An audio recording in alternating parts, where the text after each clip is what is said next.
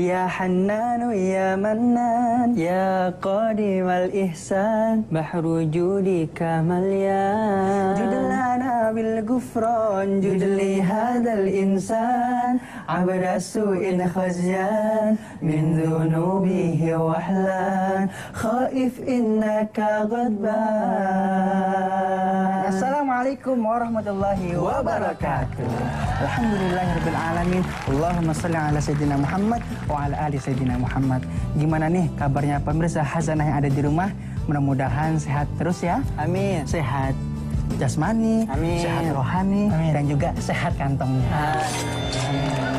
Kali ini ada yang berbeda dari Hasanah. Nah, betul. Mungkin pemirsa di rumah ada yang bilang, oh kayaknya editan nih. Iya nih, bisa kembali kayak gini. Iya. Tapi ini editan Hmm, asli mah. Asli. Asli, asli kita Allah. Kalau gitu kita langsung kenal aja deh. Nah, kami dari Hamanis. Saya Hanan. Saya Manan. Dan saya Ihsan. Tahu nggak nih? Hamanis perpaduan dari dua bahasa. Apa, Apa itu? Bahasa Inggris dan bahasa Indonesia. Nah. Hamanis, handsome and manis.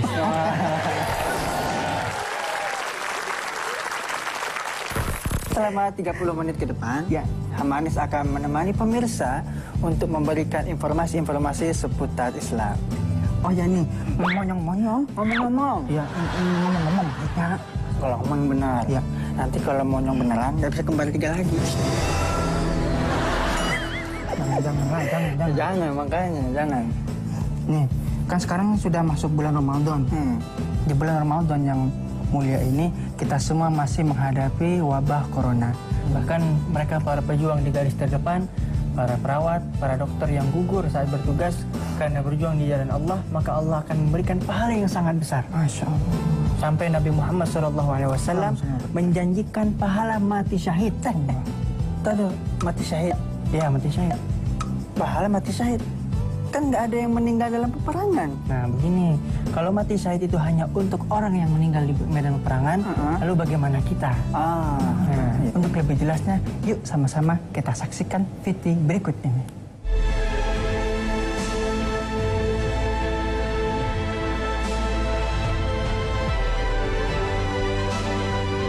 Assalamualaikum warahmatullahi wabarakatuh. Pahala syahid yang didapat orang yang terkena wabah adalah pahala syahid akhirat. Artinya, mereka tetap dimandikan dan dikafani, lalu dimakamkan seperti orang yang meninggal biasa. Nabi SAW menyebut mereka dengan mati syahid akhirat.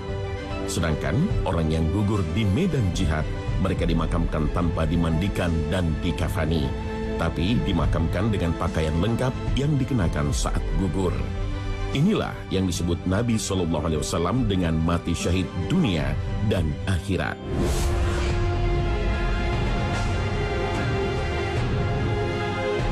Lalu apa yang didapat orang-orang mukmin yang mendapatkan pahala syahid akhirat atau yang meninggal karena wabah COVID-19 misalnya? Apakah dengan mendapat pahala syahid kelak di akhirat mereka diperlakukan sama oleh Allah dengan orang yang syahid karena gugur di medan perang?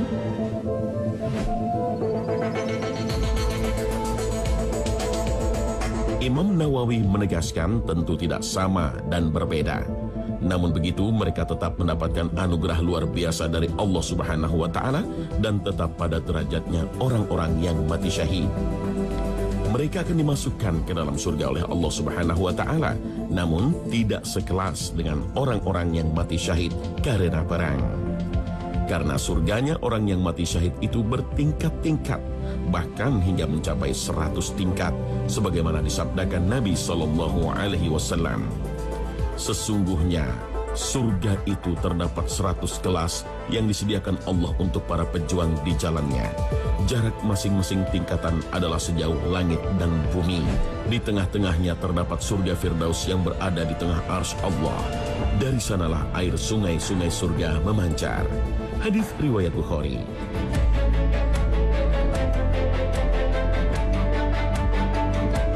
Dengan tingkatan yang banyak ini, lalu di mana surganya orang yang mati syahid atau orang yang mendapatkan pahala syahid karena wabah? Wallahu a'lam. Hanya Allah yang tahu.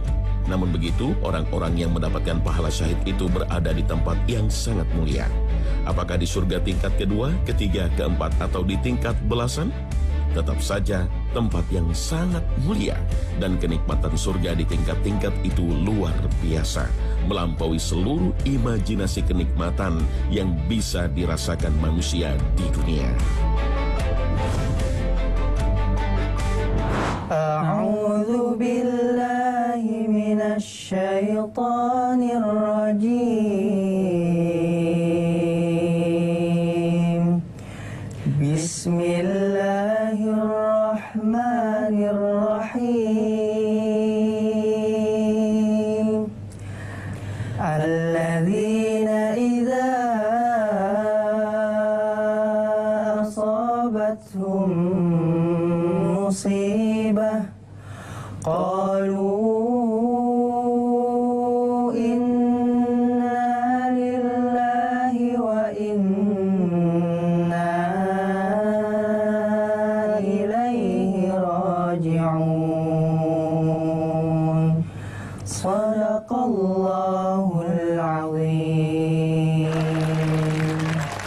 Oh iya, pernah nggak nemu imam?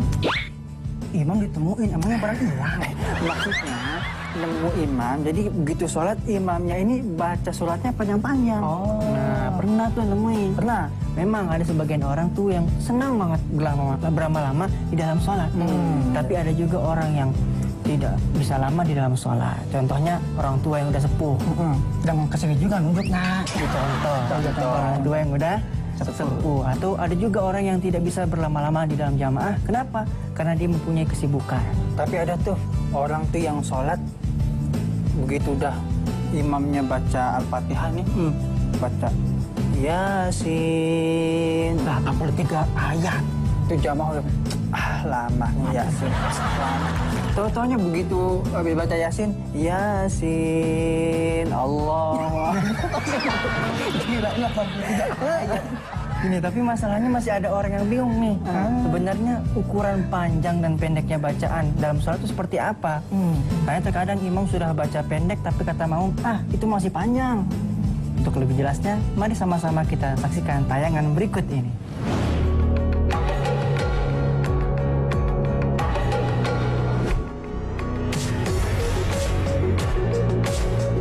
Sebenarnya, panjang dan pendeknya surat yang seharusnya dibaca oleh seorang imam ataupun orang yang sholat sendiri sudah diterangkan oleh Nabi Shallallahu Alaihi Wasallam, bahkan sudah dicontohkan dalam sholat beliau.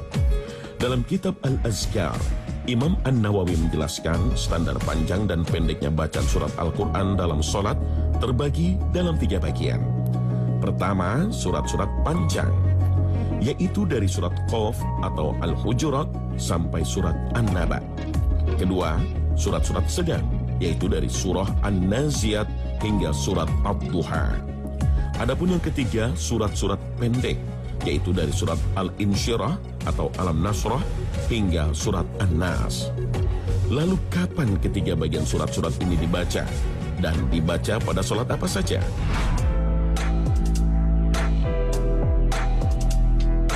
Secara umum dalam kebanyakan sholatnya Nabi Shallallahu Alaihi Wasallam ketika sholat subuh membaca surat-surat yang panjang, yaitu surat-surat antara surat Qaf dan An-Naba. Pada sholat maghrib Nabi Shallallahu Alaihi Wasallam membaca surat-surat pendek antara surat Alam Nasrah hingga surat An-Nas. Sementara pada sholat-sholat selain subuh dan maghrib, Nabi Shallallahu Alaihi Wasallam membaca surat-surat yang panjangnya sedang, yaitu antara surat An-Naziat hingga surat Ad-Duha. Sementara sholat Isya, Nabi Wasallam memberikan catatan tersendiri agar tidak memperpanjang bacaan surat Al-Qur'annya. Hal ini karena ada seorang sahabat bernama Mu'adh bin Jabal yang menjadi imam sholat bagi kaumnya dengan membaca surat Al-Baqarah yang tentunya surat ini sangat panjang. Sehingga ada seorang makmumnya yang tidak tahan lalu keluar dari jamaah dan sholat sendiri dengan bacaan yang pendek.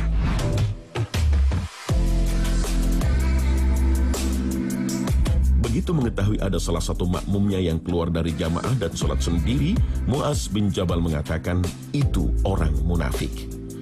Begitu mendengar ucapan Muaz, orang itu tidak terima dan melaporkan pada Rasulullah Shallallahu Alaihi Wasallam lalu mengatakan, wahai Rasulullah, siang hari saya bekerja dengan tangan saya dan mengairi ladang dengan unta-unta saya.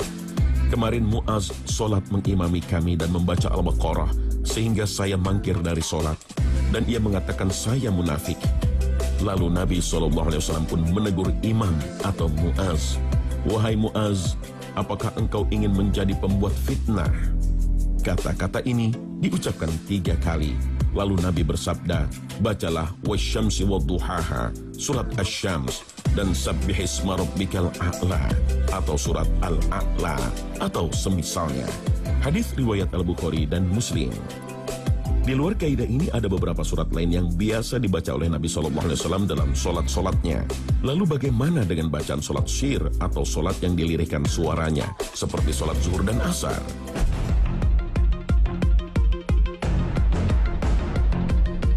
Panjang dan pendeknya bacaan surat syir atau yang dilirikan bacaannya memang tidak bisa diukur melalui standar surat. Karena memang para sahabat Nabi yang menjadi makmum solat tidak mendengar surat apa yang dibaca Nabi. Maka sahabat Nabi bernama Abu Sa'id Al-Khudri pernah mengira-ngira. Ia menuturkan, kami mengira-ngira panjang solat Rasulullah SAW ketika solat zuhur dan asar. Kami mengira-ngira dua rokat pertama beliau pada sholat zuhur seukuran bacaan surat As-Sajdah. Dan kami mengira-ngira dua rokat terakhir beliau sekitar setengah dari itu. Dan kami mengira-ngira dua rokat pertama beliau pada sholat asar itu seperti dua rokat akhir beliau pada sholat zuhur. Dan dua rokat terakhir beliau pada sholat asar itu sekitar setengahnya dari itu. Dalam riwayat Abu Bakar tidak disebutkan alif lam mim tanzil atau surat As-Sajdah. Namun ia berkata ukuran panjangnya sekitar 30 ayat. Hadis riwayat Muslim. Wallahu a'lam. Kita sudah sama-sama tahu nih. Jadi ketika kita jadi imam, ingin baca surat yang panjang, harus lihat situasi dan kondisi. Misalkan kita sholat nih di musola bandara, kita jadi imam. Di belakang ada makmum yang sebentar lagi mungkin pesawatnya mau terbang. Jangan sampai gara-gara kita baca suratnya kepanjangan, di belakang jamaah sholatnya nggak khusyuk. Lebih ingat pesawat daripada ingat ke Allah. Nah, pemirsa, setelah ini akan ada tayangan tausiah dari Ustadz Dasat Latif. Hmm, Mari kita saksikan bersama-sama. Insya Allah akan ada pelajaran berharga di dalamnya. Bu, saya yakin ibu semua sholat. Ya, saya yakin ibu semua sholat. Cuma yang jadi masalah, sholatnya tidak bisa husu. Padahal Allah sudah jelaskan, kada aflahal mu'minun. Beruntunglah orang-orang mukmin. Siapa orang mukmin beruntung? Alladzina hum fi salatihim khasiun. Mereka yang husuk dalam sholatnya. Kita 30 tahun sholat tapi tetap gosip. Kita 30 tahun sholat tapi tidak bisa lepas dari riba. Berarti ada masalah dengan sholat ibu. Tidak mungkin Allah jelaskan inna salata tanha anil fasai wal munkar. Salat itu mencegah kalian dari perbuatan mungkar kalau memang ibu lakukan salat dengan sebaik-baiknya. Sayang seribu sayang, ibu salat tapi salat ingat duit. Allahu Akbar. Tadi 100 ribu. Beli bensin 50 ribu. Beli kuota 30 ribu. Mana 20 ribu ya? Allahu Akbar. Suami, di mana aku simpannya? Allah, ah begitu assalamualaikum. Oh di bawah sadel motor. Ah. Selama dia sholat, ayo, ya ibu. Maka kalau begitu, Ustaz, bagaimana supaya bisa husu? Al-Quran menginformasikan. Minimal ada tiga cara supaya ibu bisa husu. Satu, sempurnakan wudhu. Kapan ini kita wudhu tidak sempurna? Pada saat bagaimana? Satu, pada saat membasuh rambut. Ibu-ibu karena dari pesta Mau lambut lagi pestanya jam 10 malam Takut rusak rambutnya Maka wuduknya cuma begini Ibu lebih betul ibu begini Atau ini cowok Sudah pakai apa namanya itu Pomede ya? Apa? Apa? Ah itu Sudah di Kan rambutnya anak-anak sekarang lain-lain Ada sungainya bu ada got-gotnya jalan kutu. Nah, dia sudah kasih model rambutnya. Dia takut rusak maka kalau dia wudhu dia cuma begini. Bos salah. Lebih betul kalian wudhu begini. Ini rambut kalau ini jidat. Apalagi kita banyak wudhu salah, bukan salah, tidak sunnah. Apa? Quran menjelaskan wudhu membasuh dari jari ke siku. Tapi apa yang kita praktekkan? Dari siku ke jari? Ya toh? Nah, apalagi yang banyak kita keliru membasuh kaki. Sunnahnya jari-jari tangan masuk ke jari-jari kaki lalu lipat ke belakang. Tapi apa yang kita praktekkan? Iya, iya, iya, iya berapa itu jaketmu? Ah, itu setan masuk dari situ. Jangan ketawa, saya serius ini. Dikasih cara malah diketawain kita. Ya, sempurnakan wudhu. Yang kedua, pada saat kalian sholat, pakailah pakaian yang indah. Maka ibu kalau bukan pegawai negeri yang tiap hari ke kantor, cuma di rumah, begitu mau sholat, ganti pakaian.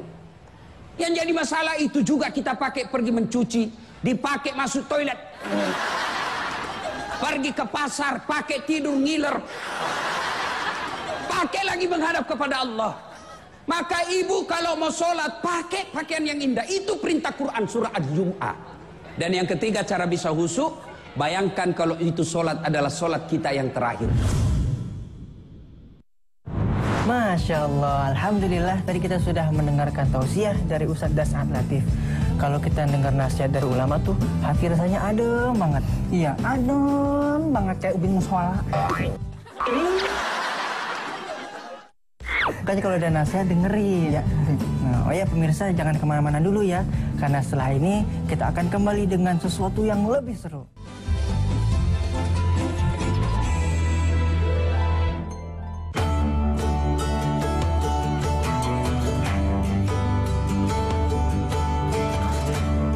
Pemirsa Khazanah, anak muda kalau rajin beramal di waktu mudanya maka akan jadi amalan tak terputus hingga waktu tuanya. Inilah di antara pesan luar biasa dari surat At-Tin. Allah Subhanahu wa taala berfirman, والتين والزيتون وطور سينين وهذا البلد الأمين لقد خلقنا الإنسان في أحسن تقويم ثم رددناه أسفل سافلين إلا الذين آمنوا الصالحات فلهم أجر غير ممنون فما يكذبك بعد بالدين أليس الله بأحكم الحاكمين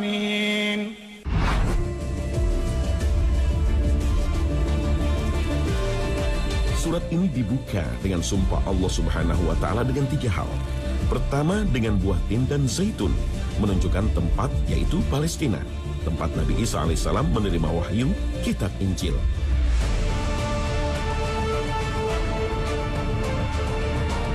Kedua dengan Bukit Sinai, tempat Nabi Musa alaihissalam menerima wahyu Taurat.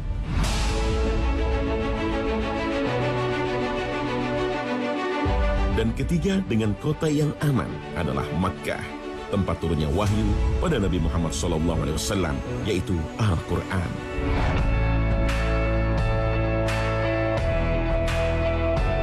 Setelah itu Allah menyebut media sumpahnya yaitu Sungguh kami telah menciptakan manusia dalam bentuk yang sebaik-baiknya. Salah satu penafsirannya adalah kami telah menciptakan manusia dengan sebaik-baiknya seperti di waktu mudanya, yaitu dalam keadaan kuat dan semangat untuk beramal. Kemudian kami kembalikan dia ke tempat yang serendah-rendahnya. Menurut Ibnu Abbas, maksudnya dikembalikan ke masa tua renta setelah berada di usia muda. Atau dikembalikan di masa-masa sulit untuk beramal setelah sebelumnya berada di masa semangat untuk beramal. Seseorang akan melewati masa kecil, masa muda, dan masa tua. Masa kecil dan masa tua adalah masa sulit untuk beramal. Berbeda dengan masa muda, yaitu masa emas untuk beramal soleh. Ayat selanjutnya, kecuali orang-orang yang beriman dan mengerjakan amal soleh. Ibnu Kutaibah mengatakan maknanya adalah kecuali orang-orang yang beriman di waktu mudanya, di saat kondisi fit, semangat untuk beramal, maka mereka di waktu tuanya nanti tidaklah berkurang amalan mereka.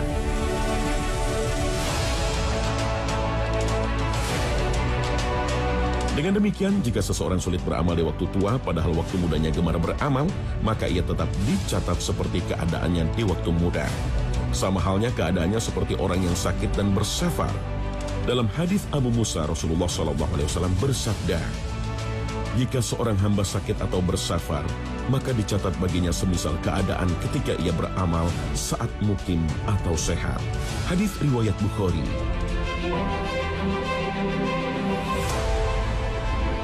Oleh karena itu, Nabi Shallallahu Alaihi Wasallam menganjurkan agar kita meminta perlindungan kepada Allah dari usia tua yang buruk.